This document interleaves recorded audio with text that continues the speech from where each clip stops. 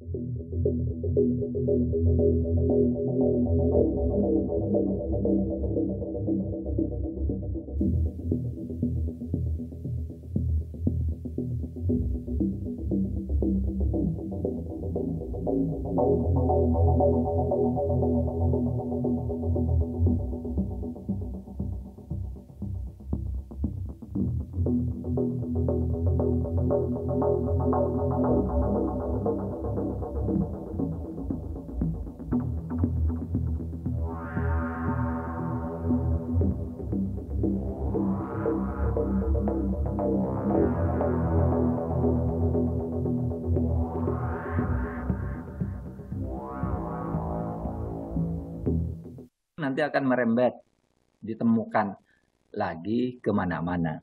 Dan dari pelajaran Lukas NMB, saya juga menghimbau kepada siapa pun, pejabat di kantor pemerintah, pengacara, itu jangan mencoba menghalangi pengungkapan kasus.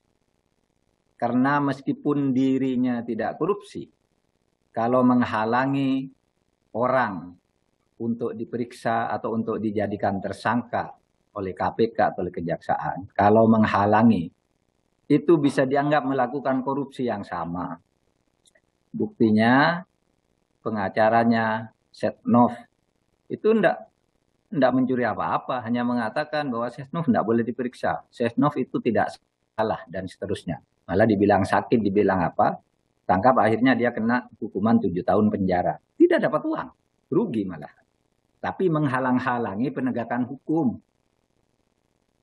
Bisa. Nah, yang sekarang yang kedua ini pengacaranya Lukas NMB. Dia belum dapat apa-apa tuh, tapi tapi selalu menyalahkan penegak hukum bahwa ini mengada-ada supaya Lukas NMB tidak datang, supaya macam-macam dan seterusnya. Nah, sekarang dia akan ditahan di KPK. Atau dijadikan tersangka oleh KPK. Rasanya sudah ditahan, rasanya. Tapi kalau enggak, paling tidak tersangka. Gitu. Nah ini himbauan saya kepada masyarakat. Jangan menghalang-halangi penegakan hukum. Saya kira. Saya Niluh Puspa. Saksikan program-program Kompas TV melalui siaran digital, pay TV, dan media streaming lainnya. Kompas TV, independen, terpercaya.